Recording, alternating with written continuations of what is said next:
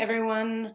Um, thank you for joining us today. My name is Olivia. Um, I work in the Communications and Marketing Department here at Houzz, um, and I'm going to be your host for today's webinar on the 2019 Houzz and Home Australia study. Um, so in this session, we will be looking at the findings of the report to see what homeowners are doing with their homes. Um, but just for a little bit of housekeeping before we begin, I just want to let you know that this webinar is recorded um, and the recording will be sent to your email afterwards. So if you miss anything or you're taking notes, don't panic. Um, if you have any questions for me, just submit them through the chat or questions box on the right hand side of your screen. Um, I'm the only one here today, so I'll be able to answer those questions at the end of the webinar. Um, but you should be able to see the title slide on your screen now. Um, if there's any issues, um, just let me know, but I think it should be fine for everyone. Perfect. So I've hosted a few of these webinars now, so you may already know the little spiel um, about Houzz and what Houzz is, uh, but if there is anyone here that's new, this is just a little bit of information about our website. Um, so Houzz is the leading platform for home renovation and design, and it provides everything that homeowners need to improve their homes from start to finish, um, online or from a mobile device. So we have a very vibrant community, which is why we're able to pull um, and run these reports.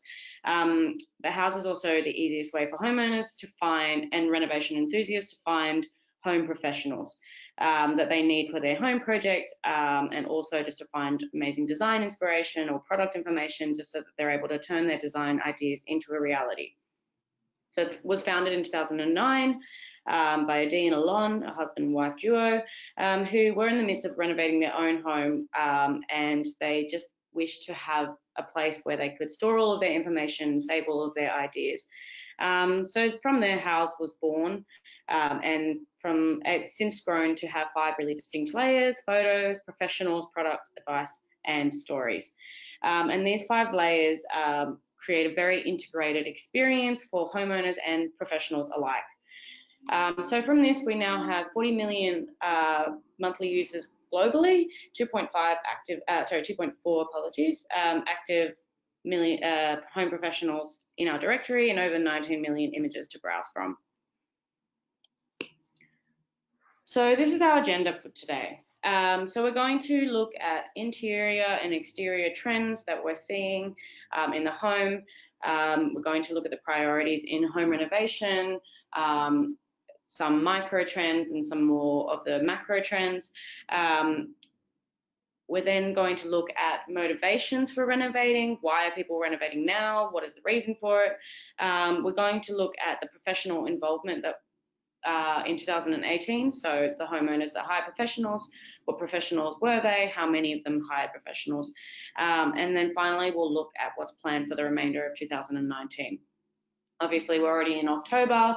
Um, this report came out in August, so it is a, a, little bit late, but I'll be able to show you what we can see for 2019, and that will sort of um, head into 2020 as well.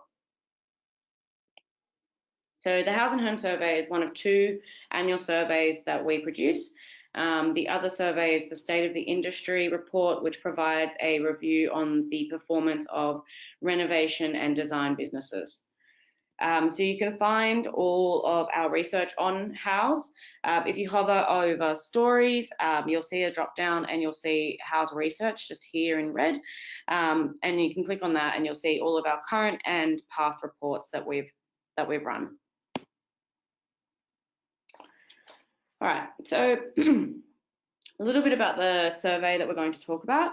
Um, so the Houzz and Home report is the largest survey of residential renovating, building and decorating activity published.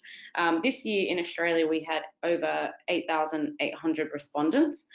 Um, so the survey covers a wide range of renovation projects in 2018, from interior renovations and additions to home systems, exterior upgrades, and outdoor projects as well. So we'll dive into the findings from uh, the report this year. So despite what's been um, sort of a somewhat turbulent year for Australian uh, economy and the property market, um, we can see the renovation activity has actually remained very strong throughout the year. 50% of homeowners renovated their home in 2018, um, an average of three rooms per project, um, and the overall median spend was 20,000. Um, so this is a really positive sign that the renovation industry is still going really strong. One in two homeowners on Houzz that took the survey, which is I'll remind you, nearly 9,000 respondents um, re renovated their home in the past year, which only reiterates that Houzz is a very targeted, engaged audience of homeowners, often in the renovation cycle, whether that be they've just renovated, they're looking at renovating, or they're currently renovating now. Um, and this can be obviously very good for your uh, renovation or design business to get in front of these homeowners. Um, so renovation activity was led by baby boomers with 40% of them renovating, um, and it was followed very closely by Gen X's, 39%.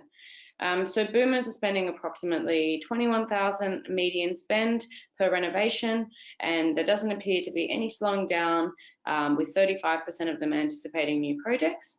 And meanwhile, Gen Xers are spending the most per renovation, a median spend of 23,000 per renovation. 41% um, of them are anticipating new projects as well. So we can see that these two um, age groups are the ones that are really driving the renovation trend in Australia. At the higher end of the market, renovation spend in the 90th percentile, which is essentially the top 10%, um, reached 180,000, um, and this has been increasing annually. Um, so last year was 150,000, the year before that was 140,000, um, which again is showing that there's really high confidence from renovators in the higher end of the market. So looking at where we focus our efforts, the kitchen continues to reign in popularity uh, with over one quarter of respondents renovating the room in 2018. Um, we also saw a 16% increase in renovation spend for the kitchen um, this year to a median spend of 20,000. So when you see a median spend of 20,000 just on kitchens alone, you can see how homeowners are start heading towards that 90th percentile spend in the hundreds of thousands. Um, so followed closely by this uh, was the living room. 23% uh, of um, homeowners renovated this space in 2018. Um, and then all equally popular this year uh, were bedrooms, bathrooms, and laundries. So evidently, it's the functional um, or common areas of the home that uh, get the most attention in a renovation. Um, and then some data that is quite unique to Australia and also New Zealand um, is we have some of the highest numbers of outdoor projects internationally. So 59% of respondents worked on some form of outdoor project in 2018. Um, we can attribute a lot of this to our climate and our lifestyle, um, but also it could also be because of our land sizes. Um, Australia is renowned for having bigger land lot sizes. So our principal economist, Nino Sitchinava, um, we have a team of economic uh, economists, sorry, in, that run in the US, um, and they are able to look at the data as well, look at uh, the global economic trends, um, and just sort of explain a little bit more about what's happening to the renovation industry. So this was a quote quote from Nino. Um, so despite a number of headwinds for the global and national economy, renovation activity continued to keep pace in 2018 and will likely experience a robust growth in 2019. Pent-up demand continues to drive renovation activity, while spend on discretionary projects such as kitchens continues to grow, signaling, sorry, signaling strength in uh, consumer confidence. Um, so on Houzz, we don't just have homeowners that are renovating, we also have a lot of users that are looking to decorate their home. So 53% of respondents decorated their home in 2018. Um, but we do see that renovating and decorating seem to go hand in hand with two thirds of renovating homeowners um, in 2018 also decorating or furnishing their home within that same year. Um, so broken up by uh, the generations again, we did see that millennials were more likely to decorate following uh, immediately following a renovation um, than baby boomers were. So that was 73% versus 60%. But overall, we are seeing that Houzz's also used as a source of inspiration for decoration and also finding pro professionals that can help you decorate your home if you're not looking to renovate just yet. So why are we doing these home projects now? A lot of our motivation is a pent up um, desire to renovate and decorate the home. As you can see, the uh, top reason for renovating now is that they wanted to do it along and finally have, finally have the time. Um, and then close in line to that is um, finally having the financial means. Um, so we see these as sort of the top motivators year on year. Um, and again, yeah, it's a lot of this sort of people want to renovate their home, they are saving money to do it, um, they're planning the time to do it, and that's why they want to renovate. What we are seeing is millennials are wanting to customize a recently purchased home more than other generations. So you can see 43% have said that this is their top um, motivation for renovating their home. Um, and this ties into millennials also wanting to decorate for, uh, following a home renovation because they obviously want to customize the home um, and make it a space that they have designed and thought out. To fund our home projects, 76% of renovating homeowners use cash. Um, again, reinforcing this idea of pent up desire. People want to renovate and they are saving the money to do it. 19% um, of renovating homeowners used credit cards, and then 13% relied on a home mortgage uh, refinance. Um, millennials use cash or savings to fund their home projects more than older generations. Um, so that was 86% versus 74 and 73%. Um, we also saw a slightly higher reliance on credit cards in millennials than in older generations. However, millennials are also less likely than older generations to use cash from a previous home sale, which we can kind of expect that most millennials haven't already bought a home and sold it by the time they're looking to renovate. Um, so when we look at what we want from our renovations, the top priorities are improving uh, design, look and feel, as well as improving functionality. Um, over increasing resale value, although this is obviously still a high priority as well. Um, improving energy efficiency is also a significant priority for homeowners as they're uh, more conscious about saving money um, and also more sustainable options for the home. Um, so we're seeing this, and this is obviously really evident in um, baby boomers as well. Um, and then other more micro priorities that we are seeing come to the forefront for homeowners um, include the integration of green materials and also integrating smart technology. Um, obviously, these are more micro, they aren't the main priority, but we are seeing um, slight increases in these when we are year on year.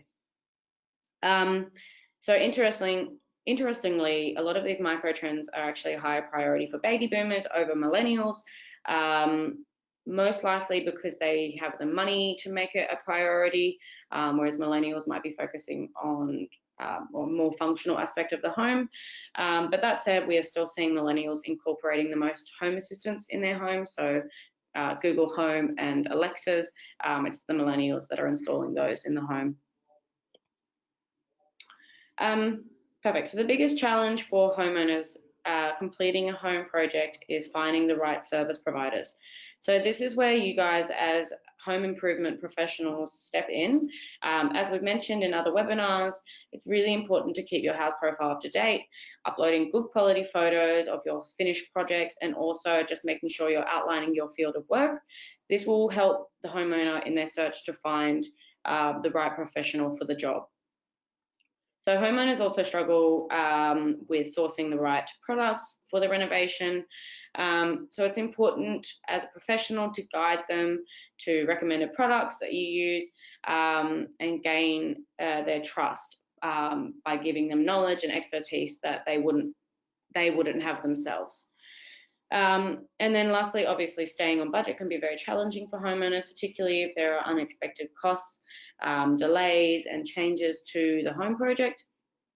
As a professional, it is good to manage expectations from the start and always be transparent about finances. This will help the homeowner stay on budget while they're doing their renovation project. Obviously, there's always going to be unexpected costs. So uh, you may want to tell the homeowner that you've added an extra uh, sum of money um, to cover any unexpected costs. Um, and then what we saw from the report was that for millennials, staying on budget and actually funding the project the, was their biggest challenge. Um, obviously, they want to save more money, um, but it might be harder for them if they're in a lower um, sort of household income. So professional involvement was high again this year at 90%. Um, baby boomers called in the most help for, from professionals at 93% and then Gen Xers were at 90. Given they lead the renovation activity, it's no surprise that they are most likely working on bigger home projects um, that require more professional help. Um, so the, what we did also see is that uh, electricians, plumbers, and carpenters were in the greatest demand in 2018. Um, but more specific pros that were hired in 2018 included builders, uh, landscape contractors or gardeners, um, kitchen designers, and also architects, as well as a few others as well. So what we're planning for the remainder of 2019, um, still very strong. Nearly half of respondents are already planning to renovate this early on. Um, obviously, we fielded this survey quite a while ago, so a lot of these people are probably already in the renovation process now. Um, two fifths, so planning to uh, decorate.